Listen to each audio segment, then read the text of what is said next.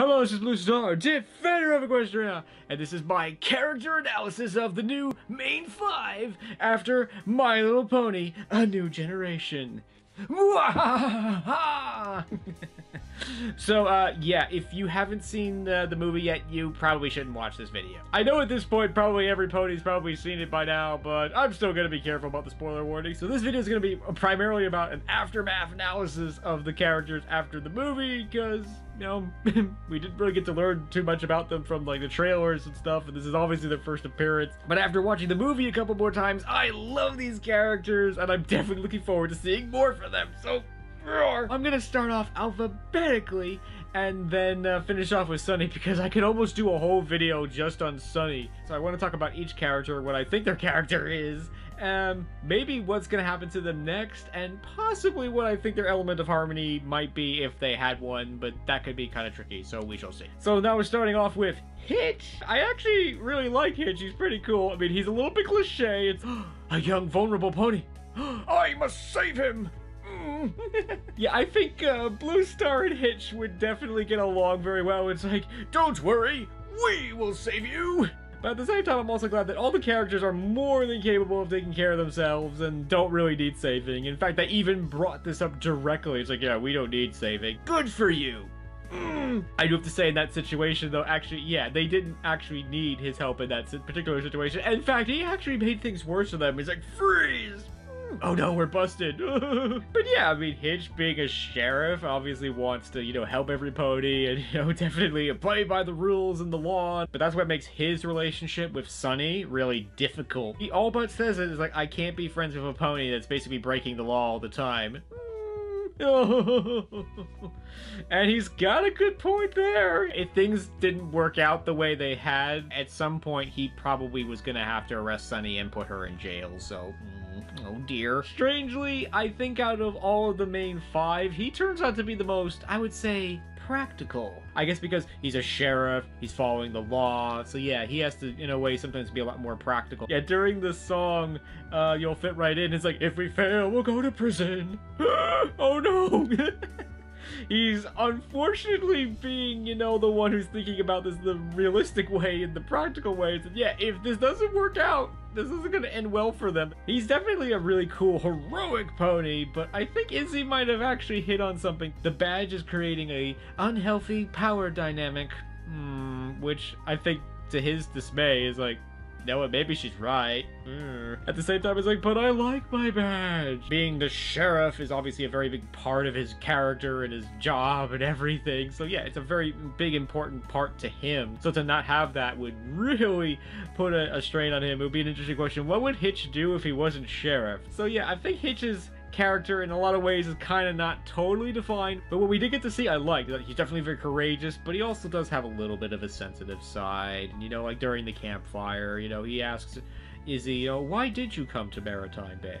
And then after hearing the story, I want to do my part. He's a sheriff. He does what to serve and all that things. Like, yeah, so he simply wants to do his part. And again, I think Blue Star and Hitch would definitely get along very well. So now, something that's interesting about Hitch, but really isn't part of his character, he's got like the critter magnet, I'm gonna call it. Dr. Wolf did a video on this. Is Hitch the next Fluttershy? I don't think so. Sorta. I think Hitch might be the uh, next unwilling Fluttershy in some ways. That Fluttershy loved animals, and in return, they loved her for it. For some reason, all the animals love Hitch, and are just like, I love you. Can I go home with you? I think this could be that I've heard that some people say that animals are much better a judge of character than people are. So maybe the animals are like seeing, oh my gosh, you're this great heroic pony, and you're just amazing. I love you. Unfortunately, Hitch doesn't really feel the same way. I mean, it's not that he doesn't care about critters, he just doesn't love them the way that Fluttershy does. So it's going to be interesting to see where they go with that. Is this just to be like a running gag that every critter that Hitch encounters that I love you and just, you know, basically follow him around and do whatever he wants? It kind of worked out well in this story because not only did he get his badge back, but this is also how uh, Pipp and Zipp's mom actually found their way to, uh, you know, Pipp and Zipp and the rest of the Main Five. So I have a feeling this will probably be useful in the future, but uh, I don't really know if Hitch is actually going to develop a love for these critters or not. I think in time maybe he will, but uh, we shall see. I think that within the group, he definitely serves as a little bit of like, don't worry, I will save you because like when the tank is like I gotta rein that thing in. Sunny, Izzy, and Pipp are all running into the lighthouse to go basically you know insert the crystals. Hitch is running in to go and like you know fight that thing. So yeah, I think that that's gonna be part of his role. But I think that this thing with the animals will probably get a lot bigger and maybe he might actually develop a love for animals. But uh, we shall see. So next on to Izzy. So Izzy is definitely a interesting and a very exciting character. This instance, I'm gonna fall to temptation, which I really shouldn't have. Is this the new Twilight or the new Rainbow Dash or the new Pinkie Pie? But partially gonna say that I think this is kind of like Pinkie Pie mixed with Mokey from Fraggle Rock. I definitely feel a lot of uh, Pinkie Pie in Izzy. She's excited, she's hyper, she's, you know, at one point actually, you know, bouncing around and skipping like the way that Pinkie Pie does, which I do have to say, if you were a pony, it's pretty much the way you probably would skip if you were going to skip that way. And considering that she's like trying to like avoid these traps, it kind of does make sense to, to do that too. She's definitely excited and like, oh, the sea, I've never seen the sea before. And, you know, unfortunately, a little bit oblivious to what's going on. But this is definitely not Pinkie Pie because she has a bit of this character called Mokey from a show called Fraggle Rock. And Mokey was this very dreamy, very flower child kind of character where it's like having welcome to the day ceremonies and collecting flowers. Mokey was very calm and dreamy. And so this would have been more like if Mokey had had like 10 cups of espresso and now she's really hyper and excited and like, ooh, friends, yes. I like that. I think the short answer with all these characters is like, while they might have some similarities to, you know, the main six, these are definitely new characters. So, roar! Yeah, I really like Izzy because, yeah, she's so excited, she's happy, and I really like her attitude. She has a sort of like this spiritual, you know, kind of attitude. It's like, her sparkle is so bright right now! Roar! I like that. I think that's good. It definitely dif- differentiates her from Pinkie Pie, and I think that's good. But at the same time, I'm also kind of glad that she does have these Pinkie Pie elements. So it's going to be interesting to see what happens with her, because with the whole losing the magic thing, I think in some ways the big question I have for her is, has Izzy ever had magic? I honestly am not certain, and that's definitely a topic for another video. But it was interesting, like at the end, not only do they have magic, they've apparently learned how to use magic, if she's had magic before, then she probably has some knowledge of how to use it. But if she's never had magic before, this could be interesting because in Friendship is Magic, it's been established that you definitely have to train and learn how to do magic. It's not just something that you just poof and you just do it. It doesn't work that way. You have to train at it and learn it. So if Izzy is basically starting from scratch, in some ways, how is she going to learn magic? Is she gonna learn magic? What kind of spells is she gonna learn? How is she gonna use them? If Izzy has had magic before, it's gonna be interesting to see what does she decide to do with it. I think honestly she's probably gonna be learning magic because that would make a lot more sense. It would certainly be more quote unquote useful for the show if all of a sudden, oh, I have magic, I can do all these things, I know how to do teleportation and all these sorts of crazy things. Um, that wouldn't be as interesting as like, oh, I could do teleportation. Ooh, that sounds so exciting. I want to go learn how to do that. Yay, yay, yay, yay, yay. but anyway, it's like, so overall, I really like Izzy. It's gonna be interesting to see what they're gonna do with her. I have a feeling it's gonna have something to do with her magic. I mean, it's either gonna be learning it, possibly teaching it to somebody else. We'll see. But I'm definitely looking forward to seeing more. So, roar! So now moving on to Pipp. Pipp is definitely the pink pony princess that Hasbro loves to continually perpetuate because they just think that girls just love pink princess ponies, which there's probably some truth to that, but you know, lots of other ponies are nice too. So, yes, it's definitely a rule for Hasbro that they have to have one pink, like, princess pony. But I actually really do like Pipp. She's definitely an interesting character, and Pipp and Zipp are just so different from each other. It's amazing that they're actually related. Pip has totally, quote unquote, embraced being a princess, and Zipp has almost in a way rejected it, is the short answer. But we'll be moving on to uh, Zipp later, and I'm sure I'm gonna mix up their names because their names are practically identical, so.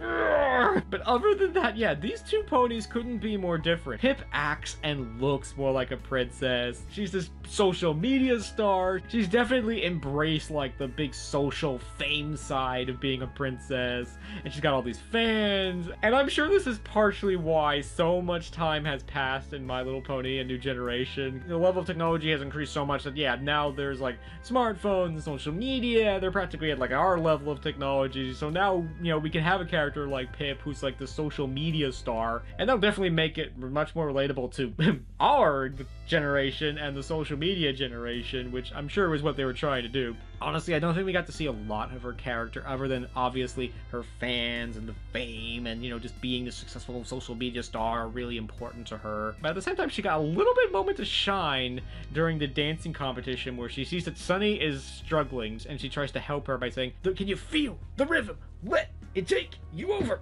Mm. She's using her social media and like performer abilities to actually help Sunny in this moment, and I thought that was kind of cool, and I like that. Yeah, she's definitely a social media star, but I think she does care about her fans. But she's definitely willing to, you know, put on a show. It's kind of like when her mom says to Zipp, "Why would you want to disrupt things? It makes every pony feel safe." Your sister understands. So she's a little bit more willing to put on the show and, you know, make ponies feel good, which isn't necessarily good or bad. We kind of got to see more of the social media star. So I'm not really sure where they're going to go with her. I think that, you know, she's going to have to learn, quote unquote, humility a little bit, which unfortunately she kind of got here, hanging from the ceiling upside down. Like her world has literally been turned upside down, and oh dear. Hmm. So yeah, it's gonna be interesting to see will her fans like forgive her or are they still gonna be mad? I think in time her fans will forgive her, especially since now Magic's all back. She's gonna have to make a lot of videos and posts and stuff to, you know, get over this one. But I think in time that they will because, you know, she's definitely a nice pony. I think she does care. Like during that scene where it's like, you know, if we could teach them how to fly, we would. We do it in a wing beat. I think she does mean that. What do I think is gonna happen with her? Hmm. I think that, yeah, she's gonna learn humility. That, yeah, she's gonna have to, you know, get off her social media throne in some ways and do more to help out ponies that are, like, almost, like, right in front of her. At the same time, you know, having all this star power might come in handy in the future, but we shall see. Unfortunately, the thing that I really remember the most about Pipp is actually her design and the way that she looks. It's like, she looks like a princess. She, she has this thing around her head. Her hooves are gold. I don't know if that's natural or not. It's probably not. And also her wings are all, you know, pink and fluffy. She's one of the few Pegasi that actually have a different wing design. They're almost more like butterfly-like. And uh, I kind of like that. Yeah, we honestly didn't get to see a lot of Pipp's character, but overall, uh, I like her. I think she's cool. I mean, it's definitely fun, you know, having a social media star here. It's like, oh, I so wish I had live streamed that. But I think she's gonna learn to be more humble and those sorts of things in the future, and definitely looking forward to seeing more. So, so now moving on to Zipp. Mm. It's like I really like Zipp. She has such an interesting character. I think in some ways we might have gotten to learn the most about Zipp's character because she's one of the few ponies that are actually asking, you know, Sunny and Izzy questions because she has the very same questions because she's actually discovered like the station and seen that there was a time where all the ponies were actually friends. I think that she's the easiest to identify what her element of harmony could be. It could be honesty, but I almost feel more like truth the scene with Pipp and Zipp in the prison where Pipp is saying, if we could teach every pony to fly, we would do so in a wing beat, right? Yeah, right. Pipp is in some ways going along with this quote unquote deception Zipp is basically almost rejecting it. I mean, that's the whole point of the station, and even talking to, you know, these two ponies that she knows nothing about, that she's been told all these years, these are our enemies, they are a threat. She wants to know the truth. She wants to know what's going on. She doesn't want to live this lie of not being able to fly. She goes down to the station to actually get the real sensation of being able to fly. And as someone who's basically a virtual pilot, I honestly kind of understand this. She's just imagining the wind beneath her wings, and it's just so cool. And it's for the one of the few times that, you know, I almost wish Blue Star was a Pegasus and I could fly. That would be so cool. She's really not willing to go along with this. She could go along with this lie that, you know, her mom and possibly, you know, the Pegasi royalty for who knows how long has been perpetuating that only the royals can fly because she, in theory, technically gets to fly. I mean, yeah, she's on wires and that doesn't sound like a lot of fun. No, she wants the real experience. She wants the true feeling of flying. So I think that her element would be either truth or integrity. That, yeah, she doesn't want to live a lie. And I think that's great. So, roar. It's tempting to think that she's like the new Rainbow Dash because she's very excited and like mm, but oh no, this is definitely not Rainbow Dash. She is a, in a lot of ways a lot more calmer and definitely a little bit more, mm, shall I say, humble than Rainbow Dash is. But that was because Rainbow Dash was amazing. She had all these amazing abilities. She was able to do a sonic rainboom when she was like six. That would be like if a six year old got on a bicycle and like beat the world sprint record by like 10 seconds, you know? That's starting to get off topic, but she's definitely very adventurous and outgoing. I mean, the first time we see her, she's almost like a ninja, like, huh, why is she here at all? Why is she, you know, doing all this stuff and like jumping all around? I feel like she's trying to sort of get that sensation of flying or, you know, like jump over backwards over the cliff and glide with her wings and stuff, you know, so again, it's like I think that she's you know interested in you know integrity and the truth and really learning how to fly and do all those things and not just simply pretend. She may not be as awesome as Rainbow Dash, but she's definitely an adventurous, outgoing uh, pony. And in some ways, if there's fighting to be done, I think Hitch and Zipp are both gonna do it because, well, that's basically what we saw in this movie. It's like when Hitch says, "I gotta rein that thing in," it's like, "I got your back, Hitch." Mm, yo, good for her. So I think Hitch and Zipp are going to be the two adventurous ponies and the quote-unquote the muscle of the group within the main five. So what do I think is next for her? Hmm. In some ways, the obvious thing, because her mom says it, is that, you know, one day she's going to wear the crown. She's going to be queen of the Pegasi. So it's probably gonna be kind of like Twilight, where probably gonna, she's gonna have to go on like lessons of like how to be a princess or a queen. So honestly, other than that, I'm not really sure what they're gonna do with her, but I'm definitely interested to find out. So Roar! Now onto the big one, Sunny. Roar! I love Sunny. She's amazing. I think because she's just simply an incredibly strong and amazing pony, and I just love her. Roar! I'm gonna fall to the temptation of this is the new Twilight, but not really. yeah, no, she's gonna fulfill Twilight's role of essentially being an alicorn in training and eventually be the next alicorn princess because all the Alicorn princesses are probably gone. But in some ways, this deserves a whole separate video on what do I think is to happen with that. But yeah, but the short answer is that yes, Sunny is in training to be an Alicorn and the next princess of Equestria. And she totally deserves this because she was willing to stand in front of the entire town and promote pony unity during a presentation that was doing exactly the opposite. That was basically promoting all these products to defend yourself against the very ponies that she is saying they should be friends with. That takes guts. Not to mention, she was actually successful in uniting all these ponies and bringing together the main five, so Well, yeah, but she's definitely not Twilight. She kind of has some similarities to her that she does study. She has a notebook. She likes to write lists of questions, which is why I kind of think Pippin's mom confiscate the book because she's asking too many questions. Ugh. no, definitely not Twilight. Twilight didn't have a lot of friends because she spent so much time studying. Unfortunately, Sunny doesn't have a lot of friends because unfortunately she believes in something that they don't believe in and unfortunately it makes it difficult. Hitch has to say to her, I'm like the only friend you have left in this town. Do you want to lose me too? Oh, Sunny has broken into this presentation, caused all these troubles. It should really throw her in jail, and, and all that stuff puts him in a really bad position. At the same time, I really love how they've had this friendship, like, when they were, like, little kids. Come on. No, I'm on duty.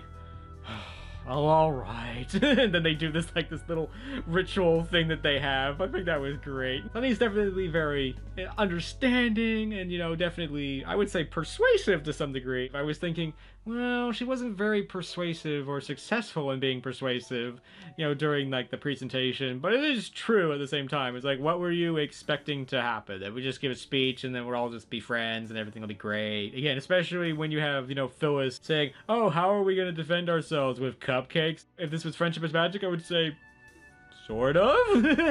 but when she encounters Izzy and she's trying to convince her to go with her to um, Zephyr Heights, Pegasi are bad news! Earth ponies were wrong about unicorns. Maybe you're wrong about Pegasi. Hmm. It's a good point. She is actually able to, you know, convince these ponies at the end. We could let fear and distrust divide us, or we could choose friendship. We can choose love that was really good. I mean, she has heart. She can be persuasive. She's also really strong. They come across the, the chasm, and there's no obvious way across. Most of the other ponies are basically, you know, fighting and saying, all right, let's turn around and go home. And it's like, no, every pony, stop. We're gonna find a way across, find the crystals, and save Equestria. Roar!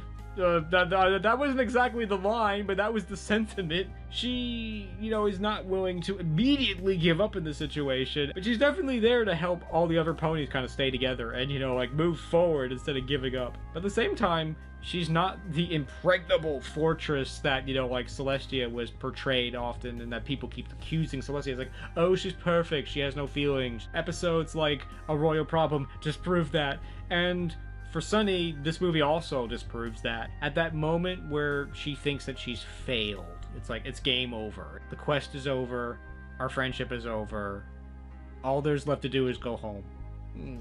This kind of disappoints me because especially all her friends are like, "We're in this together. We can't give up." But she says, "Every time I try to make a difference, all I do is make things worse." Mm. Oh. And I could understand how she feels that way because, you know, they've gone through all this to get these crystals to try to bring back magic. It didn't work. And now there's these two groups of ponies that were a moment ago ready to basically start physically fighting each other. And she's like, it didn't work, and I'm just making things worse. You know what? I think it's time to just go home. That's kind of bad, but again, she's been through so much. She's fought this fight her entire life, and she's had to do it alone. So I could understand in this moment why she's wanting to give up now. Well, the good thing, well, there's two good news here is that her friends are actually trying to support her, and in the end, do come through for her. But once she goes back home, she figures it out. That's it. Boom! She's right back. There's a third crystal. Let's go do this.